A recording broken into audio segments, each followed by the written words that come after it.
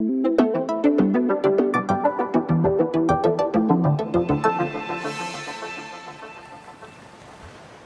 wollte mal ein Video noch machen für euch, gerade jetzt in diesen heftigen Zeiten. Also ich habe heute Nacht wirklich fast kein Auge zugetan.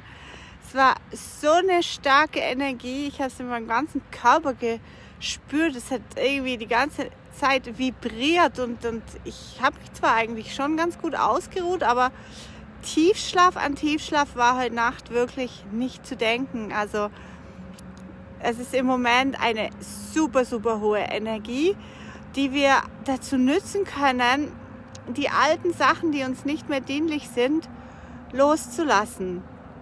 Und das wisst ihr wahrscheinlich alle schon.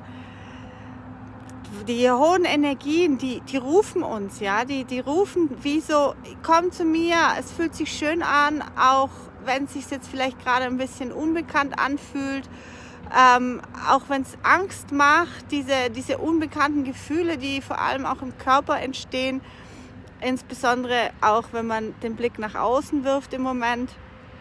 Aber ihr dürft wirklich anerkennen, dass diese hohen Energien für uns da sind. Die sind da, um uns zu helfen, zu transformieren, in eine neue Zeit, in ein neues Leben einzusteigen, für uns individuell und auch als Kollektiv, als Gesellschaft. Und da ist jetzt jeder gefordert im Moment, dieses alte, bekannte loszulassen und sich komplett zu erneuern, komplett frei zu machen und sich auf das Neue, um sich auf das Neue einlassen zu können, um neue Visionen umzusetzen, nach neuen Bildern zu leben, nach neuen Gefühlen zu leben, auf einem ganz neuen Lebenslevel zu kommen. Und das ist nicht einfach, weil unser Körper auf Unbekanntes ja bekanntlich mit dem Flucht- oder Kampfmechanismus reagiert. Ja? Der will sich schützen, der Körper, vor dem Unbekannten, weil er gelernt hat, dass Unbekanntes bedrohlich ist. Und wir müssen dem Körper jetzt beibringen, dass Unbekanntes nicht bedrohlich ist, sondern dass das, was wir uns wünschen, diese wunderbaren Gefühle, diese, dieses schöne Leben, das noch da draußen ist, dass das halt im Unbekannten sein muss. Weil wenn es im Bekannten wäre, wären wir ja schon komplett im Paradies, sage ich mal. Da würden wir ja schon komplett sorglos leben, da würden wir uns ja schon komplett wohlfühlen. Also geht es wirklich darum, unserem Körper beizubringen, dass das, was er nicht kennt, das ist, was er sich wünscht. Und da liegt die Krux drin, ja, dieses alte, bekannte loszulassen. Und warum das so, so schwer ist, ist eben einerseits, weil der Körper lieber im bekannten, sag ich mal, schmerzlichen, unangenehmen wohnt. Mal schauen, wo der Hund ist. Ah ja, der ist da hinten. da sitzt der kleine schwarze Punkt hinter mir, sitzt im Schnee. Genau, der Körper wohnt lieber im, Unbeka im bekannten Schmerz, als dass er diesen bekannten Schmerz einfach mal so Pi mal Daumen loslässt. Weil dieser Schmerz, der hat ja viele Begründungen. Der, dieser Schmerz und die Angst, die den Körper in der Vergangenheit halten, das war ja mal dienlich, das war ja mal angebracht. Und ähm, jetzt im Körper klar zu machen und jetzt unserem ganzen System klar zu machen, dass dieses Alte, was mal dienlich war, uns nicht mehr dienlich ist in der Zukunft, weil unsere Zukunft, wenn wir es lernen, bedingungslos unser Herz zu öffnen, aus diesen hohen Herzfrequenzen heraus, unser Leben zu leben und Entscheidungen zu treffen und vor allem die Welt zu sehen, die Welt zu beurteilen aus einem kompletten neuen Ich heraus, einer, aus äh, komplett neuen Augen heraus, mit einem komplett neuen Weltbild, mit einer komplett neuen Ansicht meiner selbst und dass ich eben dieses alte, falsche Ich, weil es ist falsch, wir waren nie so eingeschränkt. Wir waren, wir waren nie dafür gedacht, unter all diesen Bedingungen nur lieben zu dürfen. Wir waren nie dafür gedacht, unter all diesen Bedingungen ein bisschen Fülle zu fühlen, sondern wir waren gedacht dafür, aus der absoluten Fülle herauszuschöpfen. Oh. aus der absoluten Liebe herauszuschöpfen. Da, dafür sind wir gedacht. Das ist ein, eine neue Perspektive. Die Perspektive, mit der wir unterwegs sind, die ist so eingeengt. Wann darfst du lieben? Wann darfst du freuen? Äh, wann darfst du äh, laut sein? Wann darfst du leise sein? Wann darfst du Angst haben? Wann ist es angebracht, ähm, Emotionen zu zeigen? Ja, dafür gibt es alles Regeln. Und es wird überall schön geregelt und bestimmt. Und das ist alles eine flotte Lüge. Und du darfst zu jedem Moment du selber sein, dein wahres Ich mit allen Facetten. Du bist der Raum, in dem alles ist. Du bist der Raum, in dem Liebe ist. Du bist der Raum, in dem Angst ist. Du entscheidest, was in deinem Raum ist. Und je mehr du dein Herz öffnest, bist du der Raum, in dem die Liebe ist und Angst in Liebe transformiert wird. Du bist der Raum, in dem alles sein darf, wo alles Platz hat, bedingungslos und bewertungslos, weil du weißt, dass alles in Liebe transformiert werden kann. Und diese ganzen Kummergeschichten, ja, diese Liebeskummergeschichten, die uns ja auch so verletzt haben und uns dazu geführt haben, unser Herz zu verschließen, ist eine Bedingungsreihe nach der anderen. Wann darfst du wie wen lieben? Ja?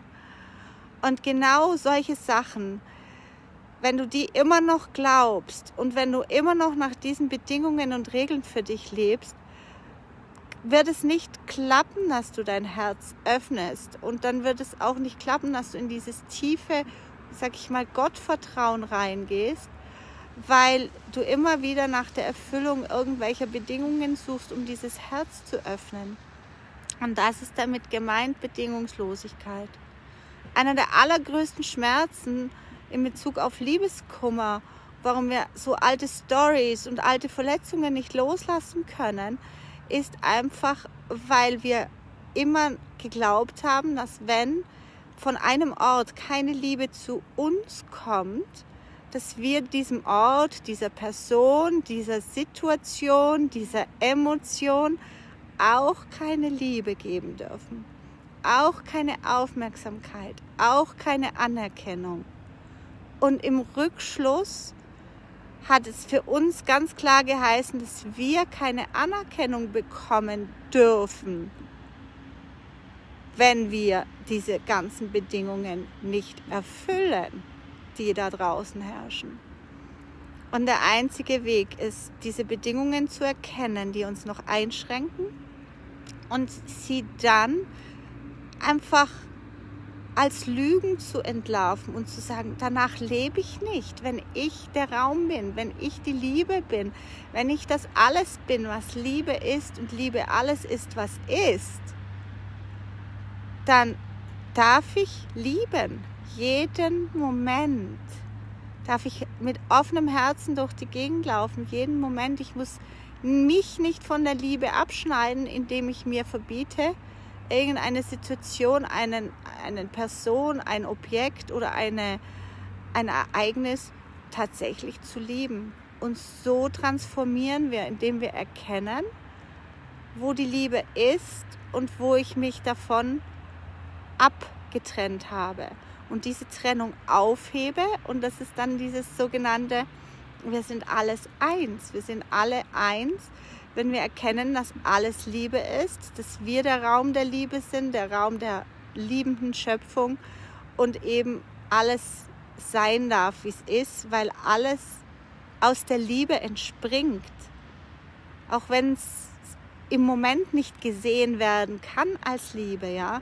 Wie kann Leid und Angst und Verzweiflung und Sorge als Liebe gesehen werden? Indem du es als Trennung durch Bedingungen von Liebe siehst. Schau mal, wenn hier Angst und Leid und Sorge ist und hier ist einfach reine, pure Liebe, dann ist hier dazwischen etwas, was dein Kopf kreiert hat, was diese Bewertung erzeugt hat, dass diese Angst schlecht ist, dass dieses Leid schlecht ist, dass diese Sorge schlecht ist. Und wenn du das in diese wahre Liebe transformieren kannst, mehr und mehr und mehr für dich, dann wirst du eben auch frei von diesen dann kannst du loslassen, dann kannst du dieses Zeug loslassen, weil du die flotte Missinterpretation, die flotte falsche Ansicht dieser ganzen Situation erkennst, plötzlich die Wahrheit hinter dieser Situation in wahrer, klarer Liebe erkennst. Und wenn du in dem Moment, wo du das erkennst, transformiert sich diese Energie und du spürst es auch in deinem Körper. Es ist einfach unausweichlich dass du auch deine Sichtweise, deine Perspektive transformierst. Weil sonst spulst du immer wieder zurück. Sonst kannst du diese Situation nicht loslassen. Dann ähm, kommt eine andere ähnliche Situation daher, die dir wieder Leid gibt, die dir wieder Kummer gibt und die Energie ist wieder da. Ja, die Energie ist wieder da, aber die Energie kann auch wieder gehen. Ja, Du entscheidest, mit welcher Energie du verbunden bist, in welcher Energie du lebst, jeden einzelnen Moment. Und das ist eine Disziplin. Neville Goddard nennt es ähm, Gedankendiät vor allem, ja, weil der Gedanke lenkt deine Aufmerksamkeit und der, der Gedanke erschafft deine, ähm, deine Bewertung. Und deswegen ist es so wichtig, diese Gedankenklarheit für dich zu haben und immer wieder in diese Diät reinzugehen und zu sagen, welchen Gedanken will ich konsumieren, welches Gefühl, welches, welche Energie damit verbunden ist, welche Ansicht damit verbunden ist. Du entscheidest jeden Moment. Und das wollte ich dir mitgeben, weil heute ist ja ein ganz, ganz wichtiger Tag für die Welt. Ähm, und es ist wichtig, dass wir schauen, dass wir wirklich hier mitarbeiten, alles zu transformieren, in Liebe, auch wenn da draußen jetzt gerade Terror, Angst und alles Mögliche geschürt wird, dass wir dahinter schauen und sehen, wo, wo, mit wie viel Liebe wir in die Freiheit geschubst werden, wie, mit wie viel Liebe wir in unser wahres Sein geschubst werden, mit wie viel Liebe wir daran erinnert werden, wer wir wirklich, wirklich sind und was wir daraus machen können hier auf diesem Planeten, wenn wir unser wahres Sein mehr und mehr leben. Ja, ich hoffe, dir hat es geholfen. Hallo Manuela, ich hoffe, ich hoffe, das hat dich wieder inspiriert, ein bisschen in diesen Tag gekickt und all, all die, die Informationen wieder relativiert. Und ähm, ich freue mich auf alle, die ich dann morgen Abend um 20 Uhr in Divine Money treffe, weil wir machen einfach das Geld heilig und während wir das Geld heilig machen, machen wir alle nicht heiligen, nicht göttlichen Energien eben auch zu der göttlichen Wahrheit. Und das ist eine Reise von zwei Monaten und wer noch einsteigen möchte und gerne in dieser Community mitreisen möchte und sich selbst wirklich entfalten will, immer mehr und mehr dieses falsche Ich, das uns übergestülpt worden ist, über Generationen und Abergenerationen hinweg abzulegen und in dieses freie, göttliche Ich zu steigen, dann bist du richtig bei uns. Dann komm mit, melde dich an, mywellfeeling.com unter Coaching und Mentoring findest du das Programm Divine Money und morgen bist du schon dabei, wenn du dich angemeldet hast. Wenn du Fragen hast, schreib mir einfach über Messenger ich beantworte sie ganz schnell. Also, happy, happy day. Ich hoffe, ihr habt auch so viel Sonne und könnt es genießen. Alles ist gut, alles ist bestens. Wir sind auf dem, am Anfang einer grandiosen Reise, die mit einem Tempo starten wird, auf das wir uns wirklich einlassen dürfen. Also, tschüss, tschüss, ihr Lieben. Ich drehe mal hier noch um, dann seht ihr, wie wie mein Hündelein hier badet im See. Ist das nicht ein schönes Bild? Herrlich. Und sie genießt es da drin und ja, ein wunder wunderschöner Tag. Alles Liebe, bis bald.